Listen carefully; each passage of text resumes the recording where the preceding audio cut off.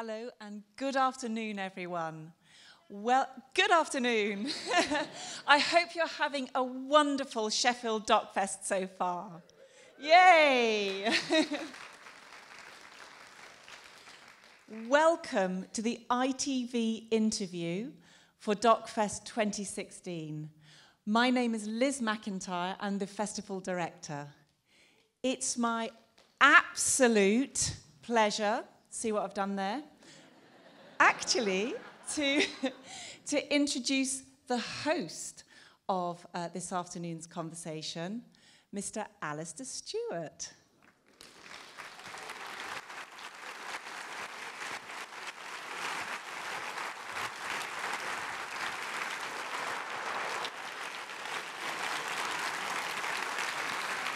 Thank you.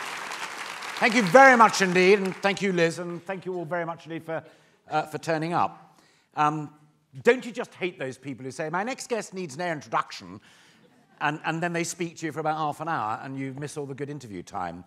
The only thing I do want to say is this, that she only needs introduction in one sense, and that is that many of you will know her as a brilliant actress, a fantastic comedienne, I suspect quite a few of you will know her as a writer, and certainly in the context of this fantastic festival, you will know her as a brilliant documentary maker. So before I invite her to join me and you, let's just uh, feast upon a couple of little extracts from what is a truly remarkable canon of work. Ladies and gentlemen, Joanna Lumley.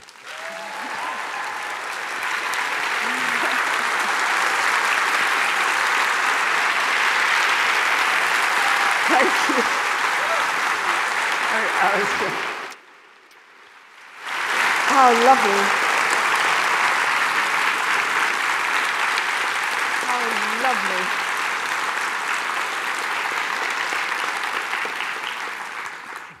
Tough work winning them over. I said before you came out, and, and, and, you will have heard me, actress, comedian, journalist, campaigner, author of more than 26 hours of documentary. Which Joanna Lumley makes the documentaries? Me. It's, it's me. I mean, it's you when you write. It's kind of you when you act because you're, whoever you're portraying comes out of the same body. But actually, this is, I've got to say, with the help of teams of people who arrange all these documentaries. At the end of it, it is me taking, I hope, you with me on these extraordinary journeys. So all the stuff, it's not scripted. The, the commentary which links it is scripted, but everything we say and do is me. Mm. And given that you can choose you, any of the genre, because you can write and you can act, and, and I've interviewed you in the day job, as it were, about Gurkhas and indeed about other issues as well. Y you can choose any of those medium mm. to make your point. Which one do you most enjoy? Uh, I'd be mad here not to say it was documentaries. There's but something about be... no, but, but, but would it freedom, also be true? It would be pretty true, and I tell you why. There's some extraordinary freedom. Maybe because I was born in the Himalayas and uh, left India before I was one year old, and then virtually lived out of a suitcase, travelling with my father, who was with the Gurkhas, being brought up in Hong Kong and Malaysia. And so this idea of travelling on yeah. has always been part of um, in my lifeblood. And so I keep suitcases. Um, Clive Tulloh, who's done a lot of my documentaries, knows this because he knows my house. It's stacked with suitcases in virtually every room. Old ones, ones that belong to my grandparents, my parents. The feeling that you can travel on, that you're going to start exploring somewhere else. That feeling, you sort of get it at the beginning of a play. And I've played here, directed by Jonathan Miller, and in the Cherry Orchard several years ago. There's an excitement at the beginning of a play, but there's something about a documentary that the next day you fold up your tents and you move on. So that sense of travelling is hugely exciting. Sure. These people, as, as Liz said at the beginning, you know, we're halfway through this festival. Yeah. And they've had some remarkable people. Michael Moore's spoken to them, and yeah. Sir David Attenborough is going to be speaking to them, and what have you. And there have been very serious debates about the genre. What does Joanna Lumley think is the role of the documentary. To bring, to show things that maybe people hadn't seen before, that they might have just heard of and didn't quite know. To meet people, this is, this is actually at the root of everything I do, which is to show that no matter what governments are like, no matter what um, how countries are ruled, essentially people around the world, no matter how ethnically diverse and religiously separated we are, no matter how living in the hot or extreme cold, most people are exactly the same. They want to live a peaceful life, they want to work, they want to bring up their children well, they want to have fun, they want to be proud of where they are. And I found that's the same. And so I've become a bit obsessed with this, is talking to people in the most extraordinary mm. places and finding out they are just the same as us. And part of that is the a kind of born after the war person who would never like to see another war and to realize that when you fight, we are, it's, it's a civil war now in the world. If we fight, we're made to fight our own people, which I think is completely unacceptable.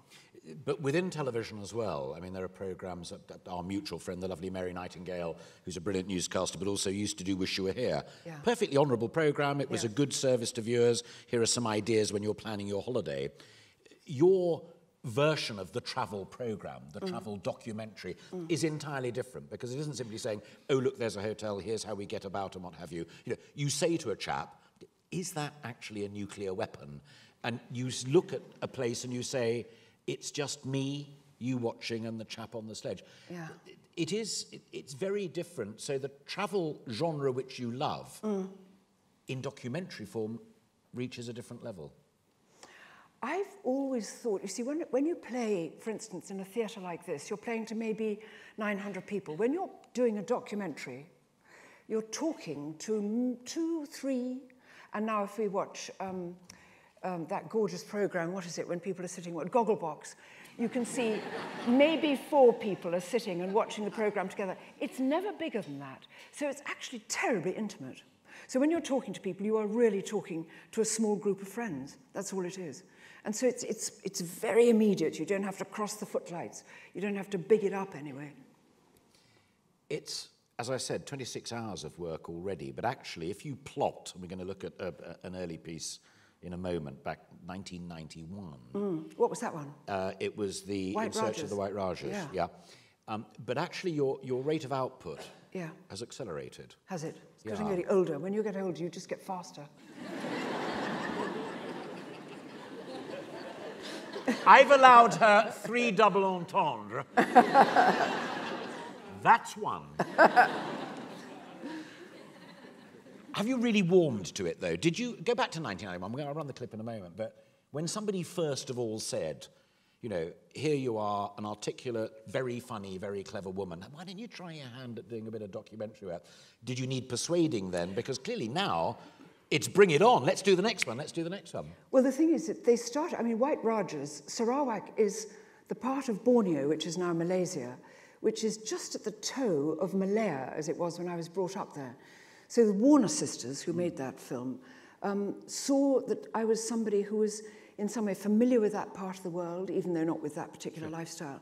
And that when I went to speak to the three daughters of the, of the last Raja of Sarawak, um, that I would have some sense of what it was like, their lives as debutantes and people going to Ascot and being presented at court here. So almost but a sort actually, of authority to address the subject? Yes, maybe, and, and not kind of going, oh, there's a spider, oh, are there snakes here? Because I knew it, so I would, be, I would feel at home there. But if you drop somebody who really doesn't know what they're talking about at all mm. into the documentary genre, then all authority and credence goes out the window. You well, they, need to know what you're talking about. I, th I think you do. And of yeah. course, you've got all the research and you've got backup. Yeah. And particularly in that very first one, you are kind of a mouthpiece for the filmmakers because they know what they want to, to the story.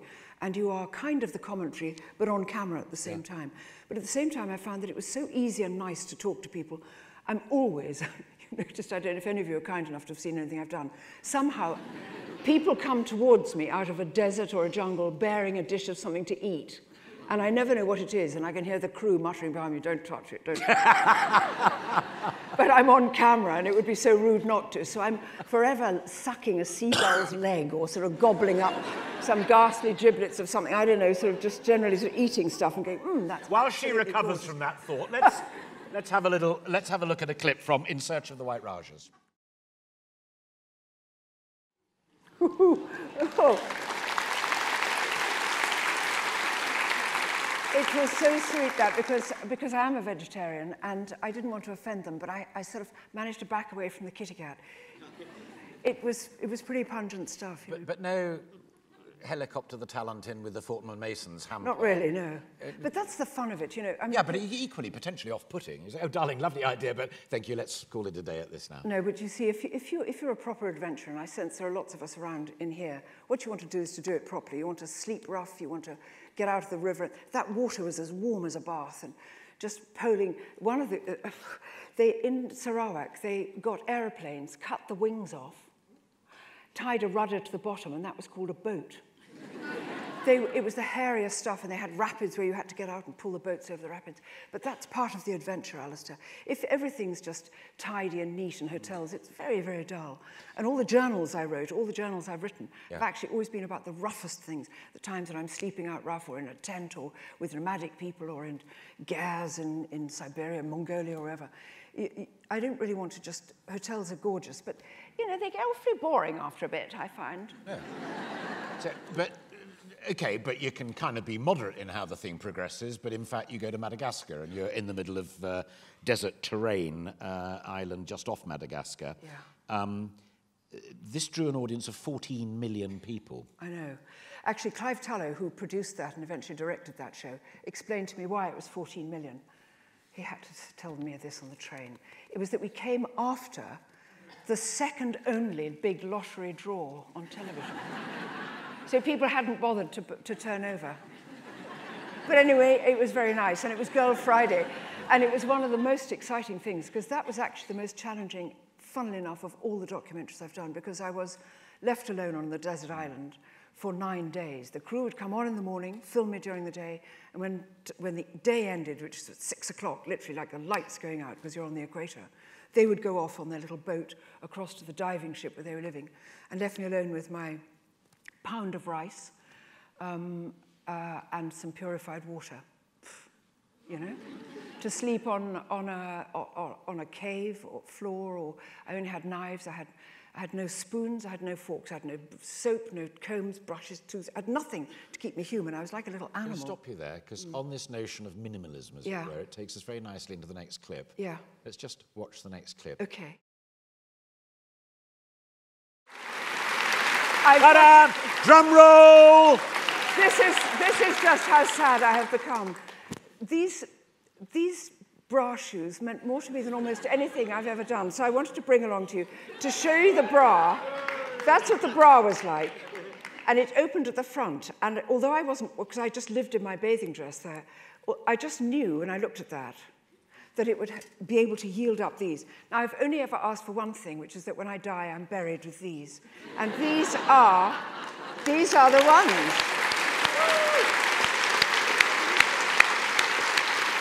It's so funny. It's something to do with necessity. It is truly necessity being the mother of invention because what I actually had was quite advanced trench foot when your feet literally begin to rot away because they're always wet. And because it was volcanic, volcanic island, it was like walking on razor blades, so I couldn't go barefoot in the cave.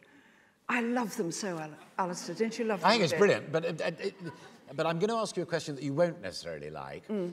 and, and that is, I mean, just when you were running through everything that you've got there and the survival thing and what have you, do you feel any guilt or responsibility for reality television and things like I'm a celebrity, get me out of here, and the island, and all of that? We're totally off the record This- amongst friends this- now. this all that tosh as opposed to this lovely stuff. Mm. You did it. You bought it about.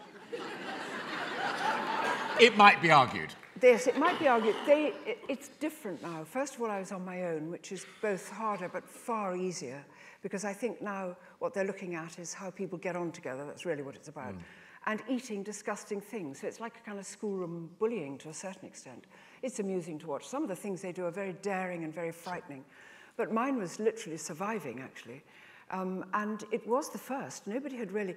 I think Ben Fogle had been put on a Scottish island actually before me and existed up there on his own, living pretty much off heather and old bits of ling and stuff. Brave, good boy.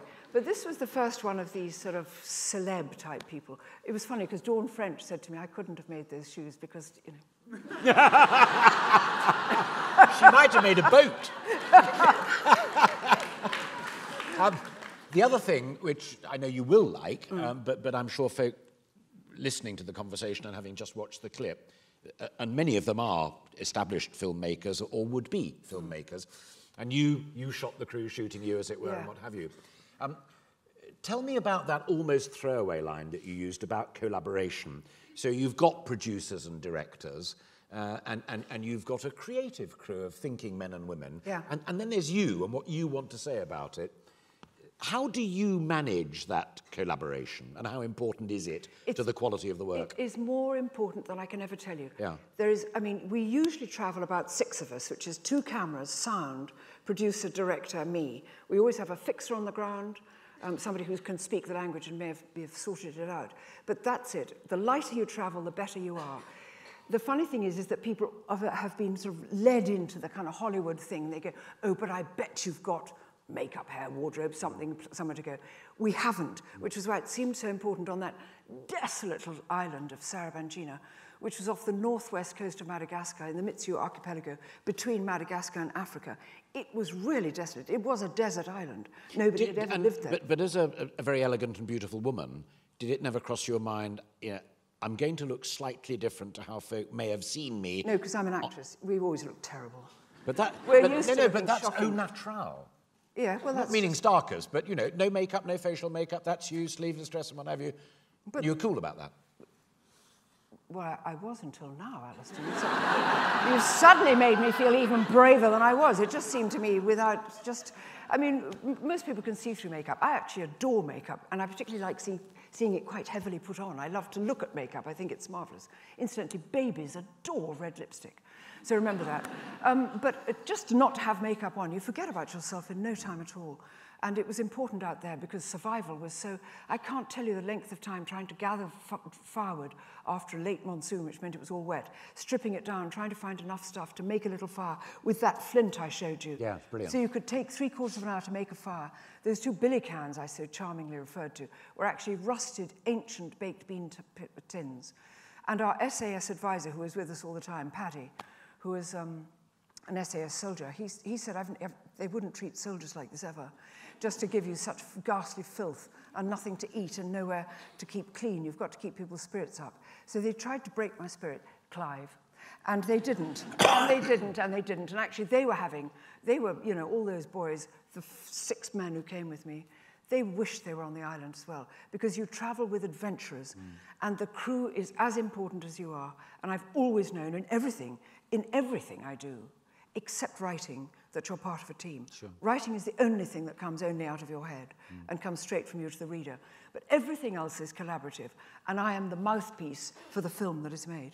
And I think tonight we've got Michael Waldman, who's one of my directors. Michael, I can't see you, so don't put your hand up. I've got Archie Barron, who did the Northern Lights. Archie, don't even mention it, darling, can't see you. But I know you're here. Um, and so there are all kinds of, you know, they, they understand the importance of a tight, tight team, n- not one of whom can exist without the other. You also have the, as it were, a luxury, and, and, and rightly so, because these things have been successful. Therefore, broadcasters will come back to you and say, "Hey, we're really pleased. Let's, we'd like to work again." A- a- and you can say, "Yeah." And I'll tell you what, I'd really love to do X. And, and I know for a fact that sometimes X is drawn from your childhood, and you've talked about your papa serving in the Far East and what have Yeah. you. Um, but I believe that the next bit that we're going to look about, we saw a little bit of in the montage, the Northern Lights and what have you, that that was a, not quite a childhood fantasy, but something from a very early age. You thought, I'm going to have some of that. I was out in Malaysia and I was about six or seven and I was given a book called Ponny the Penguin. And being, it came from Australia, it was a little Australian book. So the, the lights, the aurora they were talking about was the aurora australis rather than the aurora borealis, which is the northern lights. But I had in this, there was a picture, black and white picture of little Ponny the Penguin looking up and there hanging in a black sky looked like a transparent silk curtain, and that was supposed to be the aurora. And I thought, if I ever see that in my life, I will be happy to die having seen one of the wonders of the world. I'd said this on one of my, on one of my desert, one of, one of my desert island discs. la la la, another great advantage of getting old. They forget they've done you. You know what I mean? But I said it, and Archie Barron picked up on that and thought, wouldn't it be fun actually to go and see if we can see the Northern Lights? Let's see it now.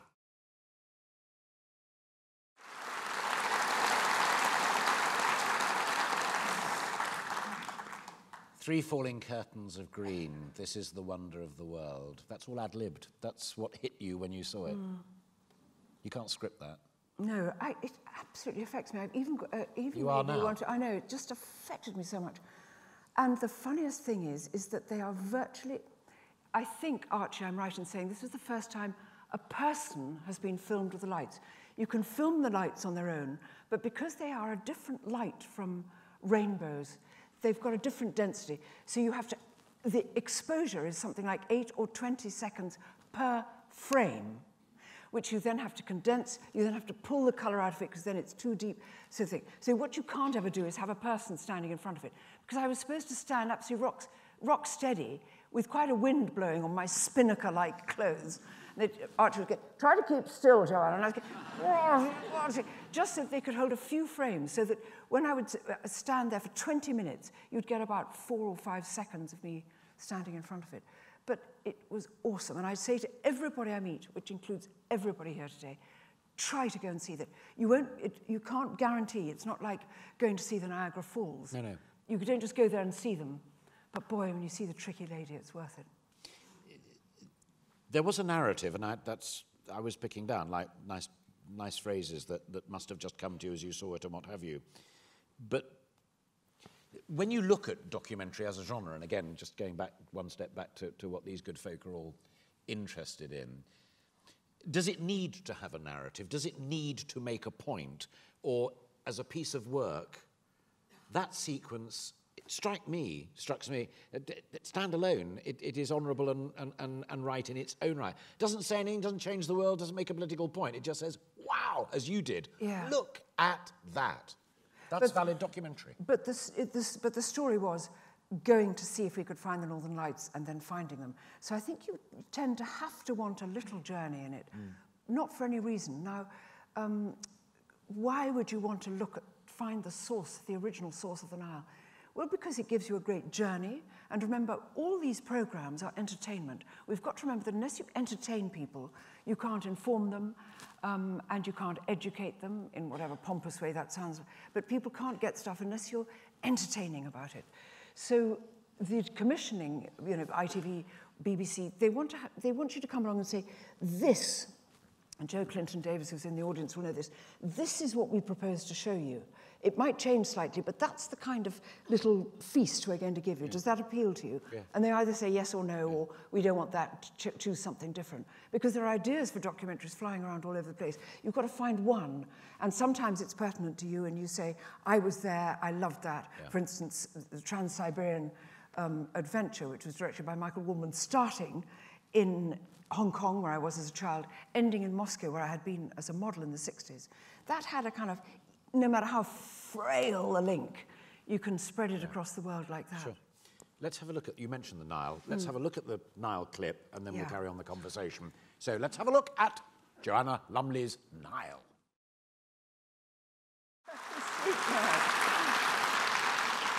I love that. I love all of the boatman though. Oh, it's extraordinary. Did, did he phone? No, he didn't. I Did you, don't did have you a ever find out who his dealer was? No, no, he's so sweet. There was something, but it, it, you're tapping into an ancient kind of history there, you know. The Nile has been flowing forever and ever, like all the great rivers, all the great waterways.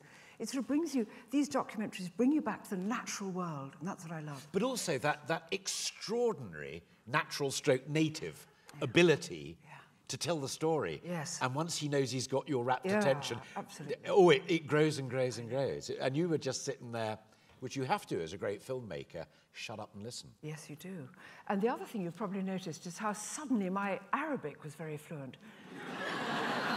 you see, the, the truth is, is that so that we don't, you, you've got to make time, you've got to make it easy. Always at home, you say, what is the easiest thing for the viewer? The most important thing is you could dub them, and that would be insulting and completely wrong because there's nothing more charming than hearing the person speaking in their own original voice. But then if you had a translator translating it laboriously to me, and then me saying the answer and them translating. So what we do is we, we jump psychologically with you. You've read the, the strap lines.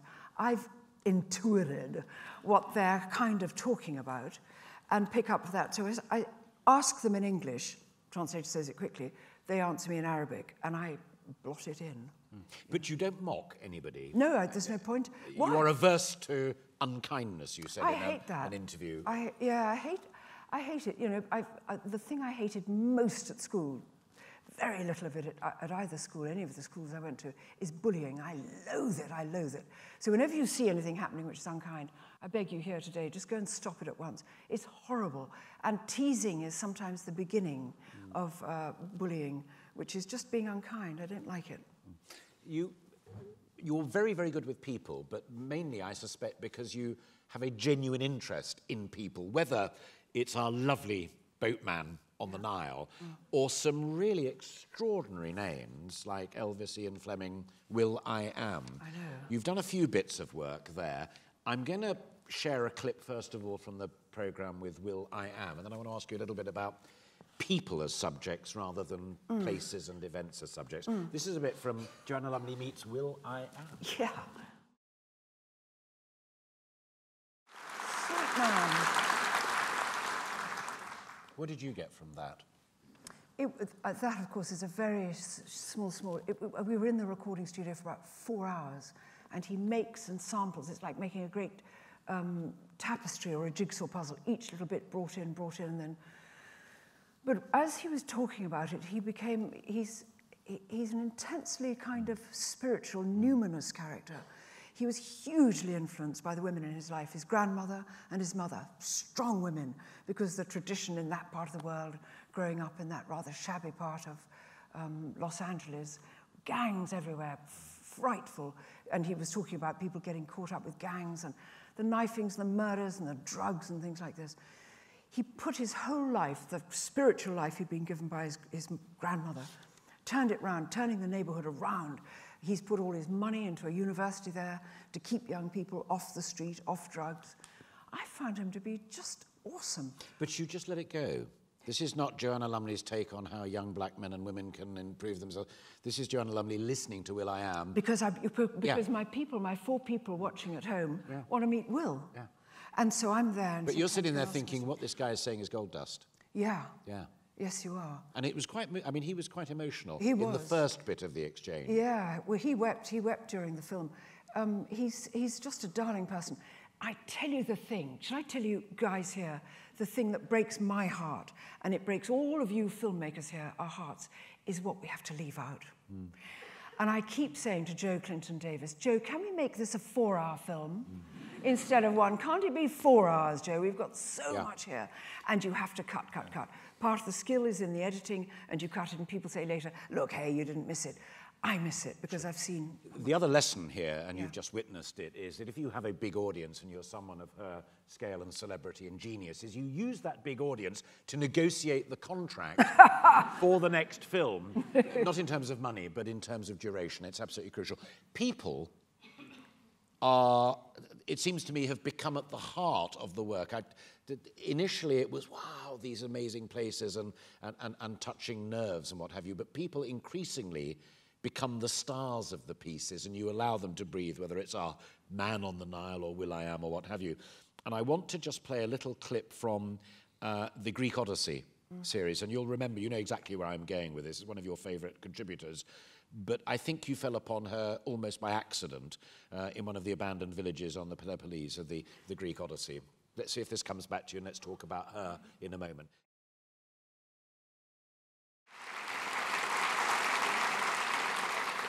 And we had gone to interview her son. And he had suddenly scarpered back to Athens. We were in the Peloponnese, which is right down on the, on the south there. And we'd gone to this extraordinary abandoned village. You can't, I mean, with our greed for travel and our love of beautiful places, you see these villages up on the rocky hills. You go, oh my God, I'd go and live there. But they've been abandoned because young people don't want to take on the very humble farming sort of exercises that there are. They all want to go to the big city. And so old people like Kiria, which means um, a courteous title, my lady, madame, staying on there. She didn't want to move. But when she had her son, this was the story she told me, which we couldn't include in this is that she had a sort of breech birth and the baby was half out and got stuck and she was up there. I tell you, really up high. She was tied to a donkey in the middle of labor and brought all the way down the hill where the doctor at the bottom tied a rope around the baby, pulled it out, put it into her arms, put her back on the donkey and set her back up there. Now, these are people who are tougher than all hell. Looking at her, I couldn't tell how old she was, maybe only my own age.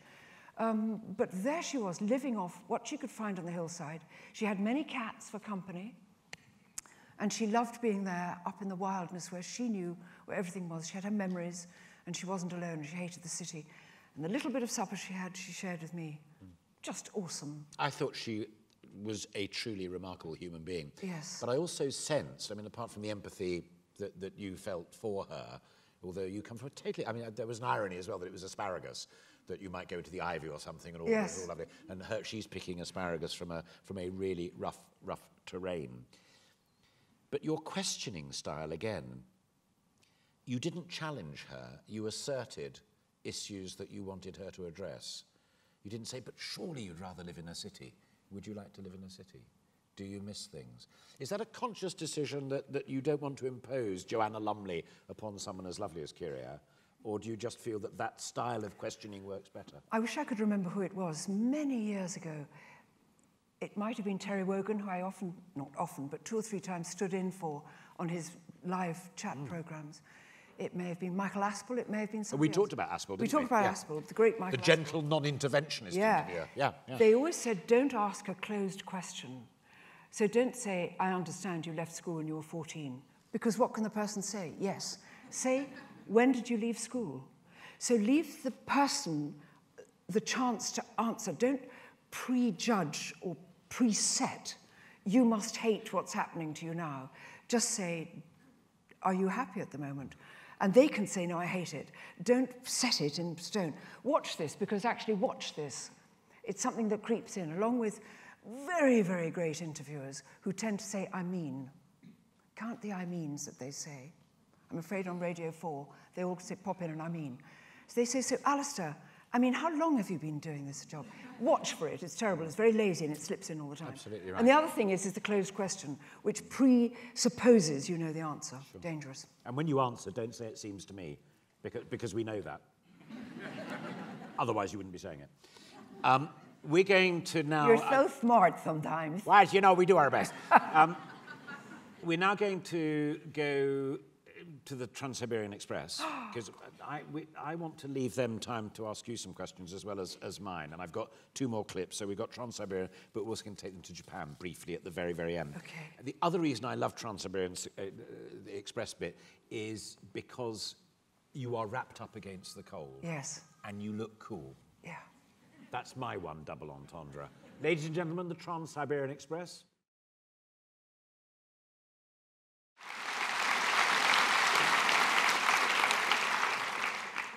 Two bits. Um, should we just forgive her for the selfies constantly, bless? But when you were filming in Tiananmen Square, Yeah. uh, I know for having filmed there myself, you were watched constantly and you were followed by somebody who would have looked official and probably two or three people who, oh, you're not supposed to notice that they're there, but they're there as well. Yeah, well, we did that bit cre- creepily, and that Yeah. was Michael Waldman, clever old creepy semi-spy that he is, who directed it. And we went in as tourists. So um, separately from our cameraman, who put on a kind of nerdy hat and walked about looking as though he was looking there, just taking the odd snap. He, in fact, was filming me. And um, I was walking around looking at, like a tourist at Tiananmen Square. We weren't allowed to film there. And had you decided that, did you know that there No. was that? No, I had So when no you saw the. Tibet bit, because I'm, I'm watching that as a, as a, Yeah. as a pro. Yeah. We had no You're- idea. But you're directing with your eyes, and the cameraman knows what you want to do. Yeah. That was utterly brilliant. Yeah, well, it was say so. extraordinary. It was extraordinary because being um, a great sort of campaigner all my life, because my grandfather was up in Tibet with the 13th Dalai Lama as a diplomat. And so Tibet has always been part of my life, and I've, I've had the great honour of speaking to His Holiness and having audiences with him. Um, to know the, the appalling oppression of Tibet and the culture and the people. It doesn't matter what the Chinese say, they're lucky. They, they say, oh, lucky Tibetans now, they've got roads and schools and things. The schools will only teach them to speak in Chinese. You're still imprisoned if you have a picture of the Dalai Lama. Which is the more potent, though, and I'm asking you, bearing in mind that, that, that they are all listening out there. You could have put the boot in more savagely back in the edit suite when you did voiceover. You chose, it seemed to me consciously, to say everything that you felt about Tibet in two glances. You said Chinese version of Tibet. You looked up and then you just very gently kind of went, and that was a conscious decision. That's how Jo Lumley is going to make her statement. Do you see what I'm saying?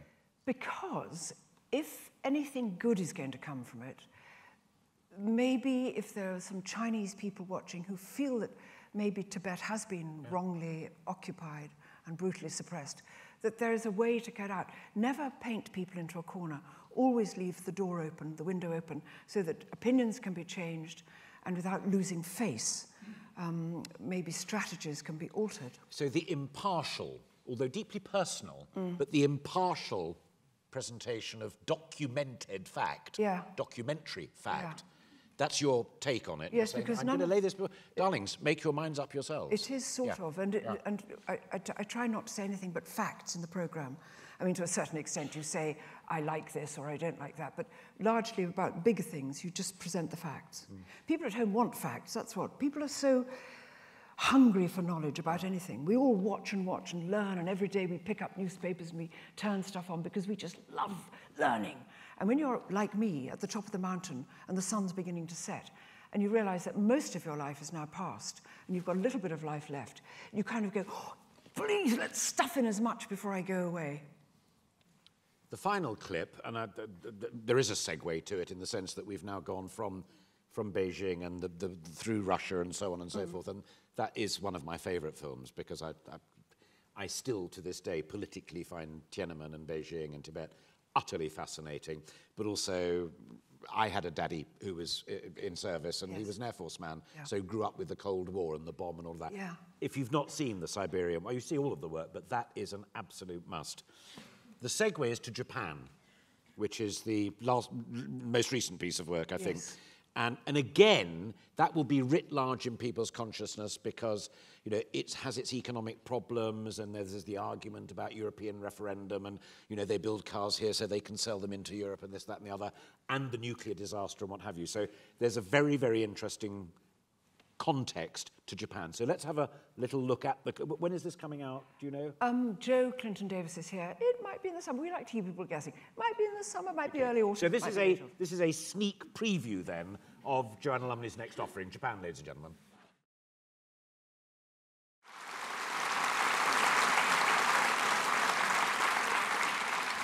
It's quite shocking, mm, as well as being affectionate, informative in terms of gender equality, subjugation, that world, to many people here would be spooky and wrong. I know, it's strange, isn't it? And yet, girls choose to do it. Mm. They dream of dressing as, as uh, geishas, geiko as they're called in Kyoto. Um, and they dedicate it. I mean, her grandmother had been one. You don't have to be geisha all your life. And so the chances are that she will, maybe when she's 23 or 4, jump ship, as it were, yeah. and, and live a normal life. And what was the tunnel? the steps down that had such a big impact upon oh you God, in the first clip? Unbearable. That was in Okinawa, and it was the naval, the old Japanese naval headquarters. And at the Great Battle of Okinawa, which took place at the end of World War II, and the Americans came in, vastly outnumbering the very, by now, very shabby and depleted Japanese army, who were mostly school children who'd been issued with grenades and rifles and things they didn't really know about. And the great battle took place. Some people disappeared to the beaches. But the naval commander, the, the admiral of the Japanese fleet, said to all the young sailors, You will never surrender. So you come up here. They dug tunnels down underneath the naval headquarters and they committed joint suicide. Oh. Thousands, thousands of young, young boys. It was unbearable because walking there was where they found the thousands of bodies mm. later on. And you were literally walking through a sort of charnel house, a tomb. And I cannot tell you the oppressive, overwhelming sense of darkness and melancholy and horror that was there. It was making me choke even to speak yeah. of it. Utterly Let's end on. Give me, what oh. was the best thing about Japan? What was Japan, the? What did you most enjoy? Thing. Oh, um, seeing the the mountain monkeys. I realized, because I'm a great nature lover, I realized when I saw those darling monkeys coming down completely free of their own accord mm. into the hot volcanic springs, just to sit there to keep warm in the sunlight and just to bask, occasionally preening themselves slightly. And there was one little monkey sitting in the middle of the pond who looked a bit older than the others and occasionally went, yes, yes. and it was me. I was truly, in real life, I thought, I am no more than that monkey. No more, no less than that gorgeous monkey. Ladies and gentlemen, Joanna Lumley. Thank you so much. Thank you so much. yes, please.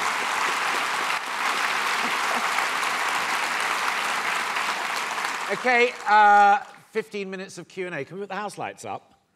Brilliant. Um, and have we got some friends who've got microphones? Um, how do you want to do this? Yes, I don't mind. Whoever's got a question, it'd be so Right, lovely. who's, so who's got a question and, and is close to a microphone? Have you got a microphone? yes. Brilliant. So just go two steps back up. The woman who's got her hand up there. Uh, okay, fine. Good afternoon. Um, that was absolutely fascinating. You take me on a real journey myself, actually, in this audience. Thank you. Um, we run a children's literacy charity in Rotherham uh, called Grimm and Co. And, and um, we are trying to get children writing, and we champion the writer in every child. You talked about journaling and writing diaries. Uh, Michael Palin and others often talk about writing diaries, and good documentary makers often do. Have you any advice that you can give to us about how we can engage children and young people? We've got a particular thing in Rotherham around child sexual exploitation, and it's our response to that in trying to get children to use writing as a tool for resilience. Okay, thank you. Just, I just want to try and get some more in. I just think- before you, can yeah. my friend here come down here now? I think that one of the most important things for children is not to make it too long. So say you're allowed to write half a page only and about this one subject one day, make it short, make, make it possible to see the end of the piece of writing and get them to tell the truth. Don't embroider, get them to tell the truth. And get them to watch, get them to see, get children to see, get children's eyes off screens and into real life. Get them to study a face. Get them, if they can, to make even a bad drawing of something rather than just taking a picture. Because if you draw something, you're much more likely to remember it and also to look at it more accurately. You, sir. Hello again, Joanna. Hello. I remember our, uh, our discussion in Buxton with great pleasure from last time. How lovely to see. Um, you've been to so many places around, around the world now. Have you got anything else left on your bucket list? Any, any specific area? No, sp- specifically from an adventurous point of view. From a, well, I must tell you, I've, like, I, I have Papua is never- always, always, always Blackpool, I'll be, I've been to Blackpool. Can I tell you, I, I turned on the Blackpool lights the year after Red Rum turned them on. um, I've never been to the whole of South America, never. I've never been to anywhere in South America. The nearest I've got there is Mexico and Belize, so not very close. Um, there are vast areas of the world, even though I was born in India and have returned there again and again and again. Anybody here who's been to India can tell you, even when you go somewhere, you haven't scratched the top of it. I could do a documentary, and I mean this hand on heart, here in Sheffield. There's enough beauty and fascination in the world for you not to have to go to faraway places as long as you watch and record and note down the gloriousness that's everywhere. Thank you very much indeed. Yes. Hi, good afternoon. um, afternoon. I'm just wondering what advice you had for young filmmakers in the 21st century. Get some money. Boy, it's so hard. And when you can, get things sponsored, get people to, to be behind you, make clear what your journey and what your project is, stick to it. Because if you're, sh- if you're short of time, of money, of resources, be crisp and be, sh- be sure that you've made a, it's like a meal, only cook what you've got. Don't make too many dishes and things like this. Go for that and make that perfect. And don't lose your nerve. You're Are you next. doing that? You're you going to be doing this documentary? You, Filmmaking. Do it. Do it. I'll be watching. Hello. First, I'd like to say thank you for being in my consciousness for 30 years. I'm very grateful. Thank you. Um, I too moved around the world and make documentaries now, wandering around the world. But my your life hack for your shoes is exceptional. So I have one question, and that is on a bigger scale. What would you tell everybody the best way to live your life is? Well, obviously, I can just, you know, make this very, very small. Um, the biggest fear in life is fear. So try to conquer fear. Fear of looking ridiculous, fear of running out of money, fear of what the future will hold. Banish fear and fill your heart with love. Fill your heart with happiness. Bend over there. I've, I've wondered about your um, fan club. I haven't got one.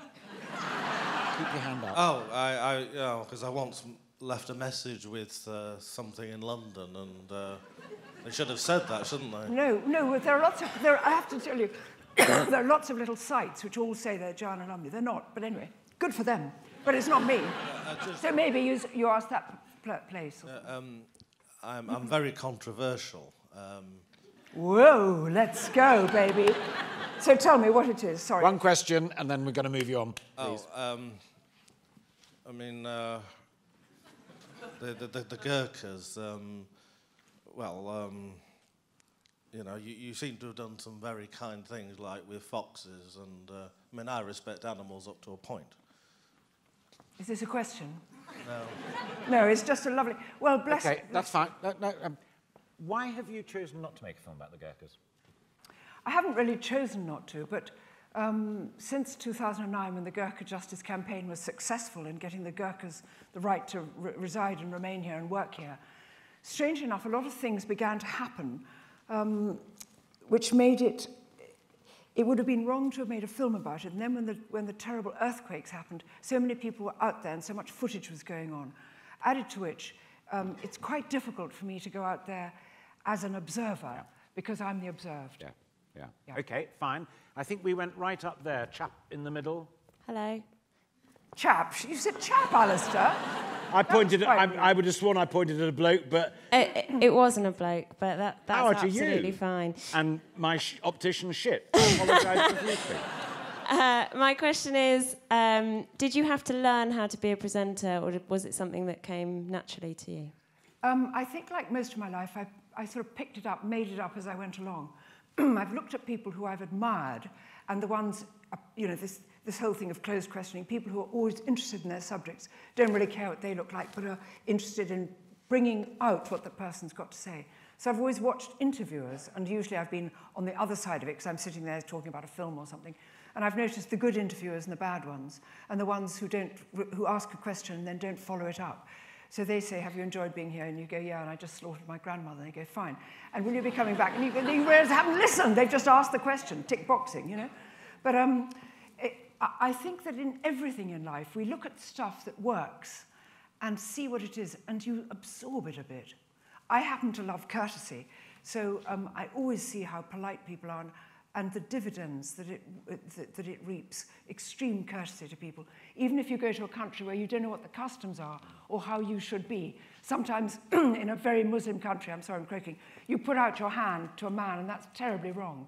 But if you do it genuinely, they can see that they- you're not trying to insult them, that you did it because in your country, that's a courtesy. But even when you're trying to negotiate facilities and things like that, the common courtesies very often help. And Whereas the hello, darling, I'm here from it. Doesn't work, does No, it? absolutely. Uh, you've got the microphone now. It's another woman. The women are absolutely stonking. Did you hear what he said? That's another woman. ah, good bloke. How did you make the transition from acting into doing the documentary side of things? Were you approached? Did it was a conscientious decision that you made, or did you wake up one morning and think, "I'm going to make a documentary"? well, the first one was the White Rajahs, and they said, We've come to you because of your background. Would you like to have a go at this?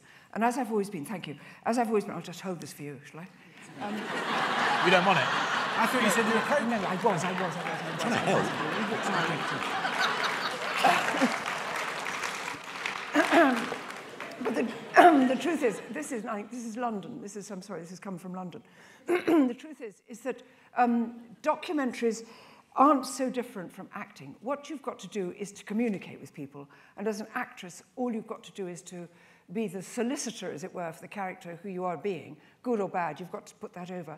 In documentaries, what you've got to do is to bring the, just with a, you want to take out the middleman. So acting, the character speaks to the audience. And in documentaries, the subject speaks to audience. So in whatever way you are the facilitator of that, it's not so different, funnily enough. You, sir. You were saying that um, you know, it's it's interesting to respect other people and inspire to other people. I inspire to y- to you. I think you're brilliant at how you go out and into the dangerous world and show us all these beautiful things. I'm an inspired, um, inspiring actor myself, and I'm just wondering, would you have told if you could go back now and tell your younger self something once you were starting out in your career Mm. that perhaps you wish you'd have done something better, would you ever do? Have you ever regretted? Mm, Darling, regret. the truth is, is that never regret. If it's gone wrong and you can fix it, fix it. If you can't, let it go. Don't drag, oh, if only. But all the time, I mean, I got into acting through the back door. I didn't come in through the front way, but I knew that there'd be a window open on the ground floor and I could creep in. And so everything I've done, from writing, writing for the Times, writing books, from doing documentaries, from doing radio, radio voiceovers, which I adore doing, all those things, find out where the door is open and creep in through it and learn on the, on the hoof. I'm not sure how much, how keen I am on places which teach you how to be, because I think where you learn how to do these things is on the ground. So if you want to work in the theatre, go to the theatre and say, I can work at the stage door, I can help you pick up costumes, I can iron stuff, I can stand, I can be a prompt. Learn how to do it, not on paper. Do it, do it. And the more you do it, the more easy it will be. Or those of us in this room who drive cars know how before you, when you start, it's almost unbelievable the mountain ahead of you. You look at people who are driving past, just talking and just doing this, and you're going, and you're going foot down to change the thing there, foot up and signal and all this. You go, I'll never get this. And you've got it. So make it so that it's completely natural. Make, make it, and you can only do that by doing it. Thank you very much, Lib. So, come over here. I think we've got time for him and then one more, and I think we've then got to exit the stage. Okay. Hello, Sweetie darling. oh, hello.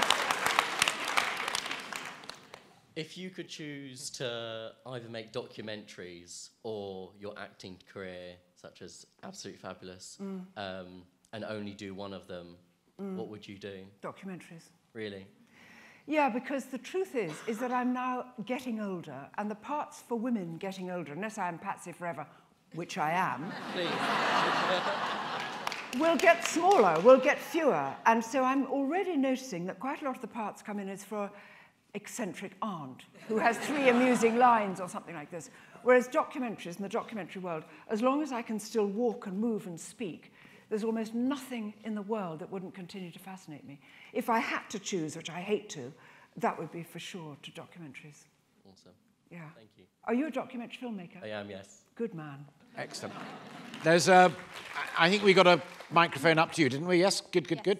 Hello. Over to you. Sorry. Um, hello, thank you for such a fascinating afternoon and for coming to Sheffield. Thank you. Um, to see us all. The question I wanted to ask was a lot of people who've travelled to such far-flung places say that the actual, the hardest part is sometimes coming home and being somewhere normal and going into the supermarket and seeing that we have thousands of options. Um, Mm. have you ever experienced any kind of reverse culture shock and how? Yes, how uh, and I tell you, it still affects me every, every time I travel out, particularly to developing countries, is how much we've got, how much stuff we've got, how much we seem to think we need, um, how we didn't mean to, but how greedy we've become, how self-absorbed we've become. And with this big new debate about whether we will stay in or out of the common market, um, wrong, wrong words, European Union, old, darling. but no matter which side you come down on that, have you noticed how everything is always to do with this, always to do with looking inwards, always to do with looking inwards? It's, that's not good. Um, it's not good. I hope that in my life I will continue to be, or aspire to be, as generous as my old asparagus picker woman, who had absolutely nothing and yet gave me half of her food for supper.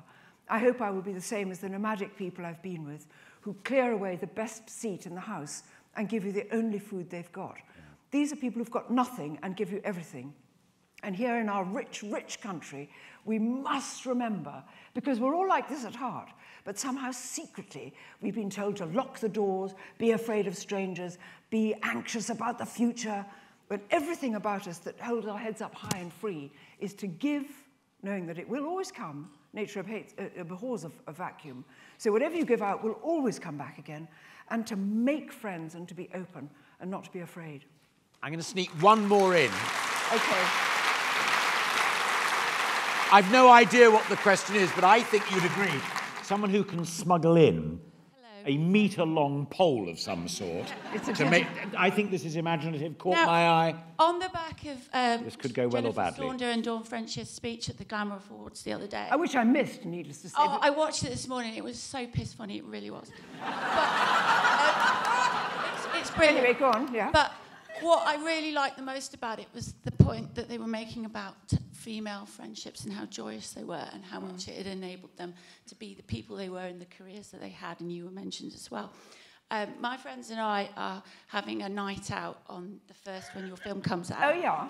Uh, I went to the Odeon and basically got a poster. I my question really is, would you sign it? For, for, Out bloody rageous. I love you. Have you got a pen? Yes, no, I haven't. even said I haven't got a pen. I brought along um, navy Oi, blue I'll hot tell you when you can speak. Really, nobody else does. Yeah, all I've hang hot on. pink, blue, and navy blue. She's a celebrity of some stature. I know, I love her. Don't you stand there heckling her. If All you done with cut- love. if you roll it back up again, Okay. and then very quietly, when the session is finished, come down here. the three of us will tell you to piss off. Oh, Alastair. Ladies and gentlemen, the remarkable, brilliant Joanna Lumley. Oh my God.